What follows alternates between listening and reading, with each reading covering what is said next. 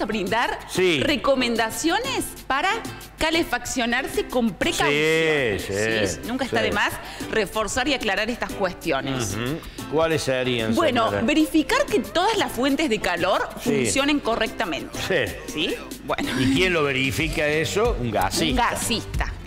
Hay que llamar Sí. que nos hagan el control de los calefactores, Sí. ¿viste? Sí. ¿Sabes Bueno, cuánto cobra un gasista para ir a controlar un ¿Cuánto duele, Pato? 8 ¿Sabe? mil pesos? Ajá. Es un. Vos a un gasista, le decís, maestro, tengo un calefactor, tiro balanceado, no lo prendo hace un año, o no tiro balanceado. ¿Me lo podés controlar? Sí, como no, maestro, son 8 lucas. Vos, si vos decís, es por la seguridad de tu familia, yo pago sí. 8, 10, 12 y 15. El tema es quién la tiene. Sí, que te- te y si que no tenés un calefactor y tenés dos, tres o cuatro en tu casa, y tiene que controlar todo. Para mí, el- una cuestión de alerta es si siento eh, olor a gas. Si yo siento olor a gas, ahí sí. si la no me llama es roja, roja. También. A ver, bueno, sigamos acá Bueno, compartiendo la info, ¿sí? Salida de gases al exterior. Dice cuando se usan determinadas fuentes de calor, hay que tener en cuenta que tengan una adecuada salida al exterior y de no ser así, tener la precaución de abrir una ventana Claro. cada cierto tiempo para ventilar el habitáculo donde se encuentra. Sí. Bien, perfecto. ¿Qué más? Apagar la calefacción por la noche. También Siempre. se recomienda.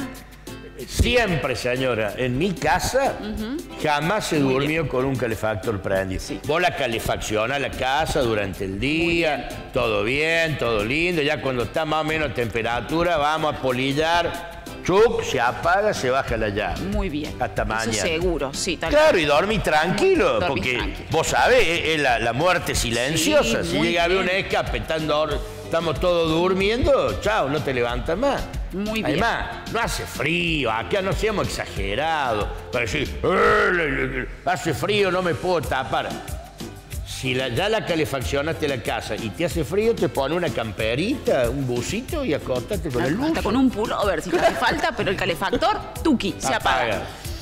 Bueno, eh, dice, ¿qué más? Limpiar regularmente los filtros del aire acondicionado. Este dispositivo es uno de los que más reseca el ambiente y las mucosas. Claro, Sí. estos son para los Claro, frío-calor. frío-calor. Muy bien, hay que limpiarle la Sí, rejillita. vos sabés que ahora que lo está diciendo, Sí, hay que el que yo tengo en la pieza, ¿vos hace cuánto que no lo limpias? No, yo lo limpio eh, frecuentemente. Te digo que sí, sí, Sí, lo, ya- hago. ya le estoy- Hay que sacarlo porque de hecho también es eh, vos si no respirás toda esa mugre, esa Para. suciedad. Y para que funcione mejor también es óptimo hacerlo.